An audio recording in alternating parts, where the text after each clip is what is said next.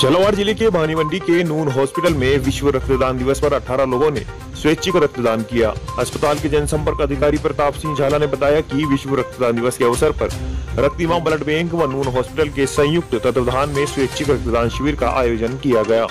शिविर का विधिवत उद्घाटन हॉस्पिटल हेड देवव्रत मुखर्जी द्वारा स्वयं रक्तदान कर किया गया, जिसमें हॉस्पिटल के 18 स्टाफ सदस्यों द्वारा रक्तदान किया गया।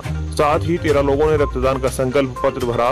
वहीं इस अवसर पर ऑपरेशन मैनेजर ईशा भटनागर समेत सभी डॉक्टर व हॉस्पिटल स्टाफ मौजूद रहा।